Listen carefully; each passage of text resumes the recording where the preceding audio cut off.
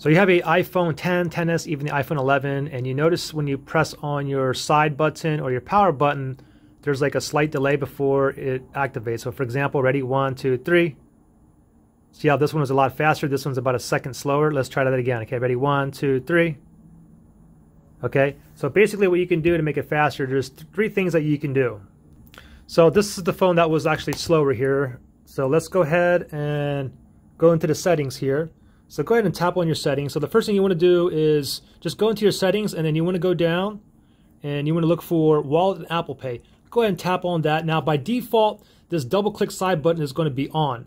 So if you go ahead and untoggle that off, now every time you click the um, the side button, it should it should go to sleep much faster.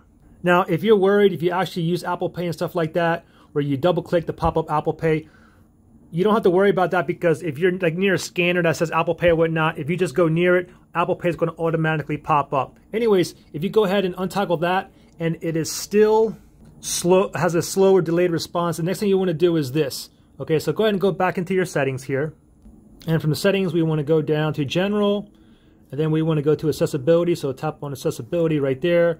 And now you want to go ahead and scroll down. And what we want to do is look for accessibility shortcut. So let me go ahead and tap on this.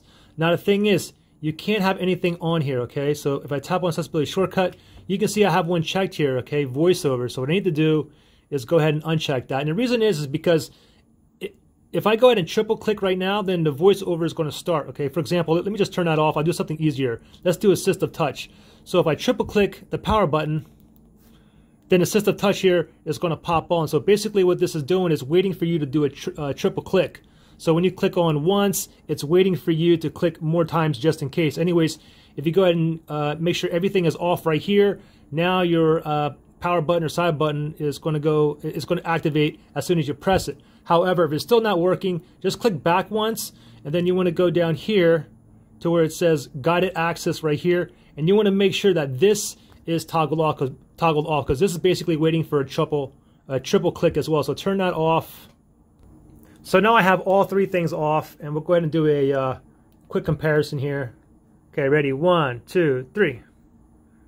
Let's try it again, okay? One, two, three. There you go. Any questions or anything, just comment below.